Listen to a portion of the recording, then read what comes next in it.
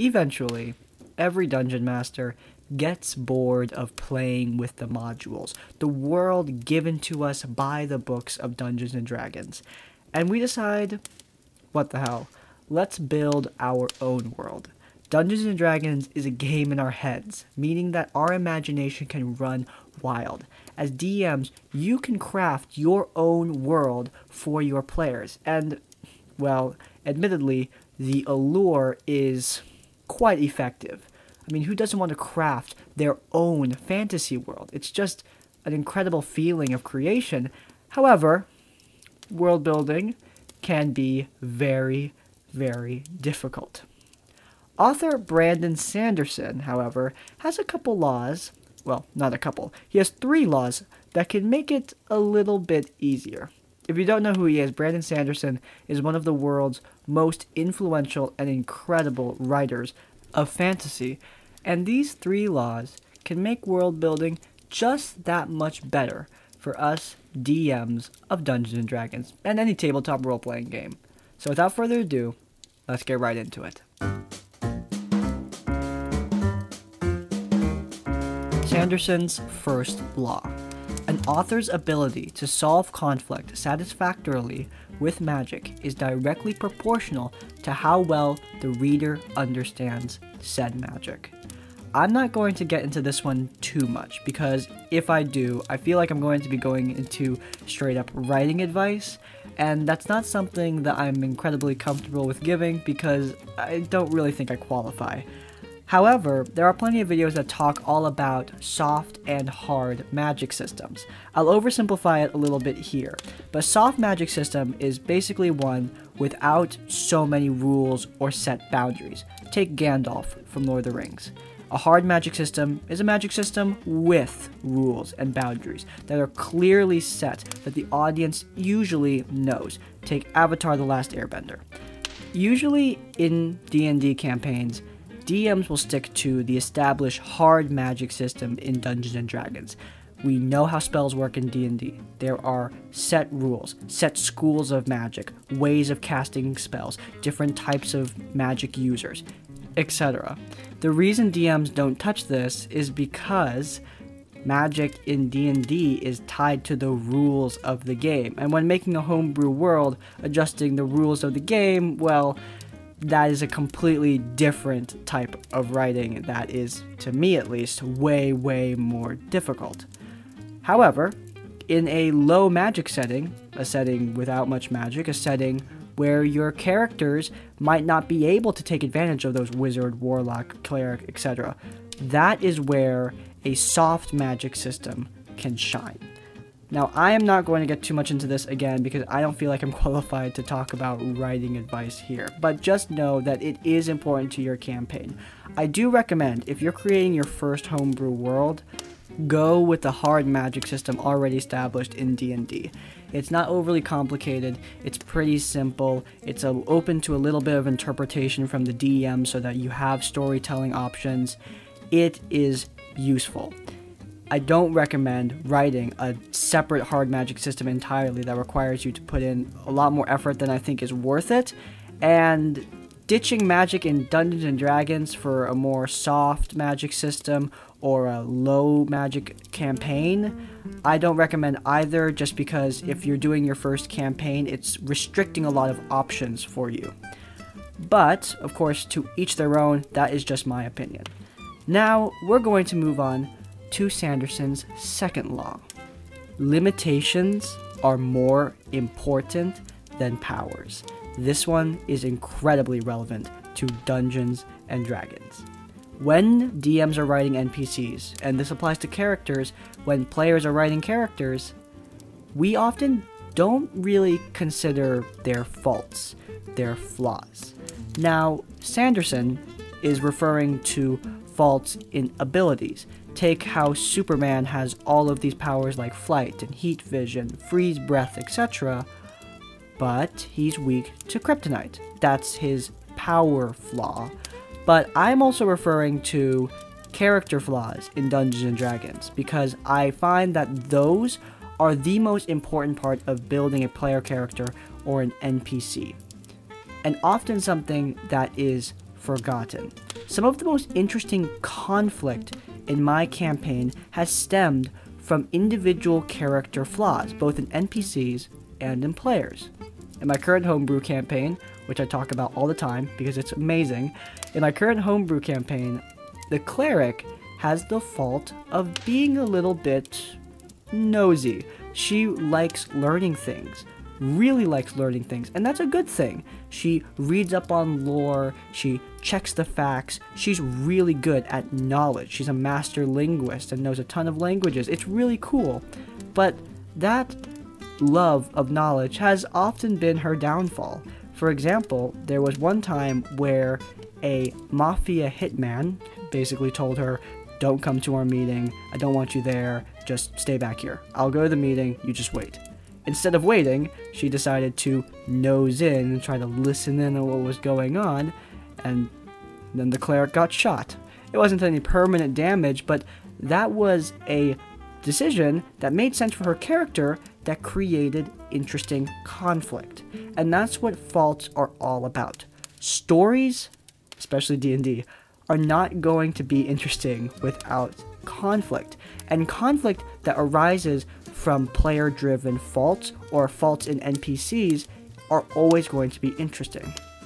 Now, of course, now let's talk about what the law is actually referring to faults in powers. This is getting straight into a power gaming debate, and for a story driven campaign, I will usually recommend that players refrain from power gaming. I do think it is important, however, for players to be powerful.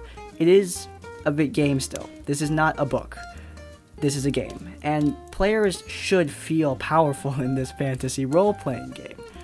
And D&D does have built-in faults to each class. Classes are good at some things, and bad at some things. That's how it's going to work. You, as the DM, should try to exploit these weaknesses to occasionally kick your players' butts because it is important for your players to lose every now and then. Their limitations should show through and create more conflict. That is a large part of what this law is about create conflict through limitations. Being powerful is great, but there are a limited number of powers and an endless number of faults and limitations that can create interesting conflict for your story and make your world all the better.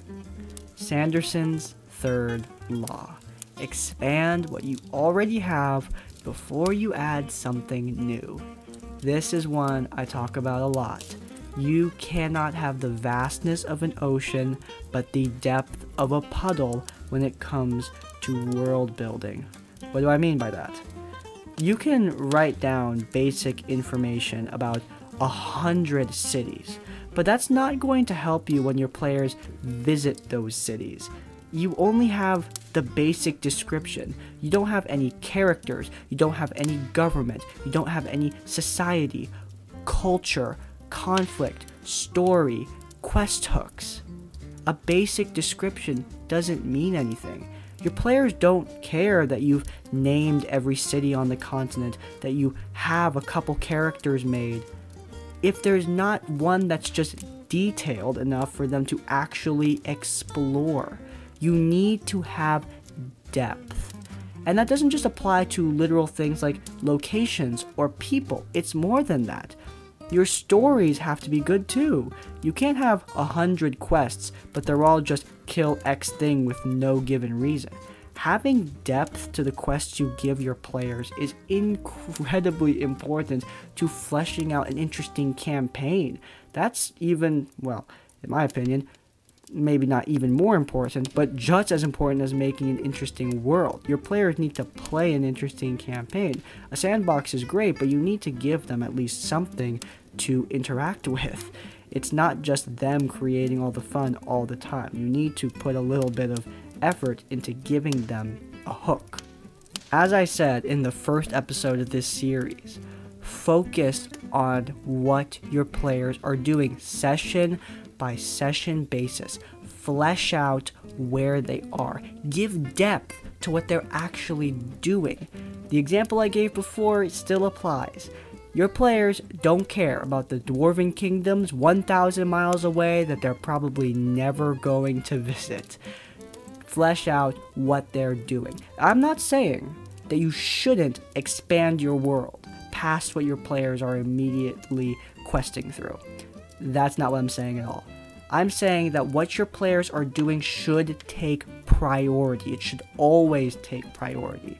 And it's a good way, it's a good goal setter for you to follow your player's quest so that you can keep track of what you're building in your world without going through and randomly creating things, if that makes sense. I don't know if I explained that well, but I tried. Basically, what I'm saying is use your players and their quests as a guide when you're world building. You're following them just as much as they're following your story. As you follow their quest, flesh out the locations they choose to go through so that you give depth to the world around them. Your players have no idea that a city that they may not visit hasn't been developed yet. I personally have struggled with this. A lot of my world is not yet fully fleshed out. I've been developing it on a case by case basis with my players. One of my players created a Blood Hunter, and when she did that, I created three Blood Hunter factions, one of which I sent to her as lore. I had no plans previously to flesh out any sort of Blood Hunter organization, but because she did that, I had incentive to create a new culture for my world, and now it's more rich because of it.